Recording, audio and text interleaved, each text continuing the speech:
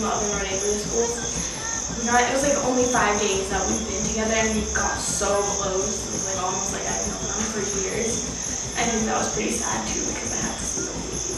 But yeah, obviously, obviously, like making friends was very, very nice. Um, but for me, the moment, my favorite moment was like playing soccer with uh, the kids at the Seaway Center. That was that was amazing. That was so fun. Uh, like just playing around with them, just kind of take, took me back to my like young childhood when I was like playing, used to play in the streets with my friends. Was like, it was amazing.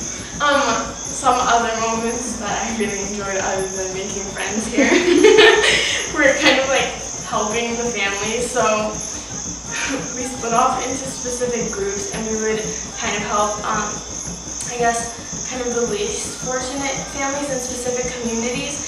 And we kind of built goat sheds for them. We bought a goat for them, for each one of them. Um, we made a smokeless stove, and then we also installed a solar panel. And it was so exciting watching like their reactions to like the electricity and everything. So I like that a lot. After helping the people in their houses, um, and after building the smokeless oven um, and the go the go shed and the installing lights, just saying goodbye to them um, and leaving that all for them. I think, and I also see their faces. They were, I feel that they were, they really appreciated what they did.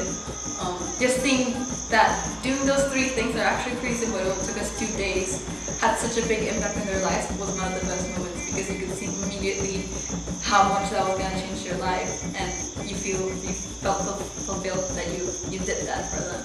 And that was my favorite moment so far. I have so many moments, but I'm, I'm not into all of them. I think one of them was playing football with children at lunch. I think that was definitely one of my favorite. Uh, then also the first day that we were working on the homes, me and another student from another school, we set up the, the lighting for the house, and after setting it, um, like when we actually got it got it to work, the faces of the kids when they were clicking on and on the switch, and like they were seeing that they had light, like I've never seen a face like that. Like I mean they and then also I really like that that the bag that all the lights came in, they were also came with Christmas lights. And when they saw that they were had colors and like it was it was just amazing. That was one of my favorite moments definitely. My personal best moment was a couple days ago.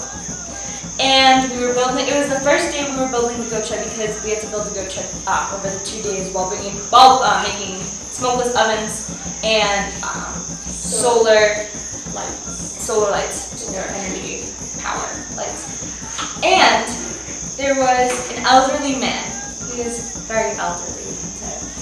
And he was part of the family we were building the goat shed for, as well as two other things I mentioned.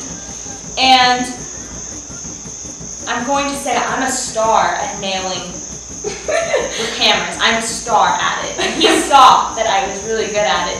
So then he came up to me after we were finished with uh, goat shed, or almost done with it. And as we were leaving, he grabbed my hand and he kept saying, "Thank you, thank you, Asante san, thank you, thank you." With like, he had no teeth, but he was smiling, and it, it honestly, it almost made me burst out in tears because honestly, it was just two hours of the day that I went there and I just cut some wood and nailed some nails, hammered some nails, and he had the biggest smile on his face. He was grabbing my hand, saying thank you, trying his best for English and saying asante, and I, it just made me like extremely happy, and it just made that moment count so much more.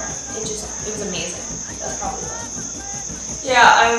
I've actually had a conflict, but everyone has. Um, but one of the best ones was when we were cementing stuff, and we were doing it, and me and Victoria um, were uh, putting on the cement with the bricks, and the guy was there just helping us and telling us what to do.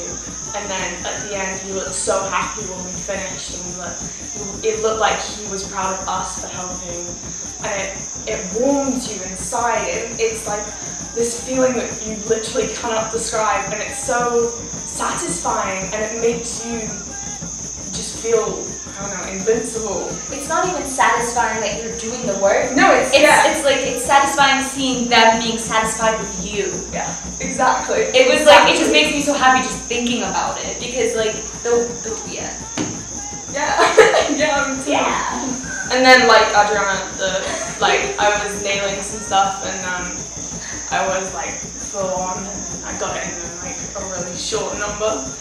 Um, which I'm really proud of. And uh, the guy comp- was like, good job, good job, and I got a couple of those and it just it made me feel good that someone who's really like these guys were hitting these hammers in uh, like three goes and it took some of us like twenty. Like and um, it took me like two. okay.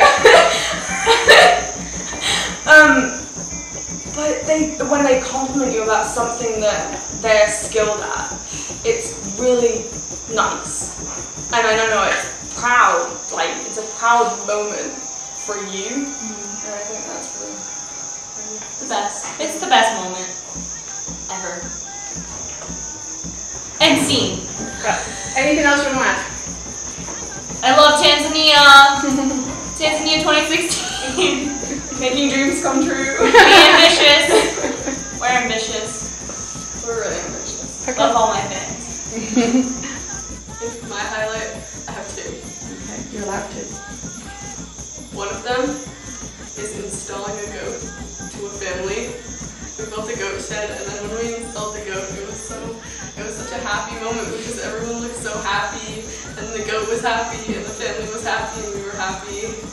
And also, when we went back to the teachers' accommodations that we started off at the beginning of the week working on, and we saw how much like work all the groups had, had done together, that really like warmed my heart because we we all care so much and like.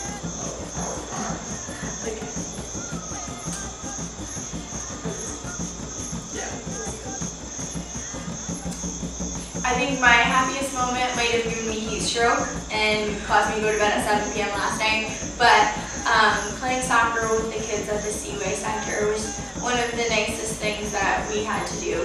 We, we may not have been helping build something in the community like we have been all week, but just playing soccer is something so universal that everyone can understand. It doesn't matter what language you speak, how old you are. We were playing with kids who were maybe three feet tall, and then kids who were six feet tall, and it was just an unspoken bond, just playing against each other, and it was just really beautiful to play.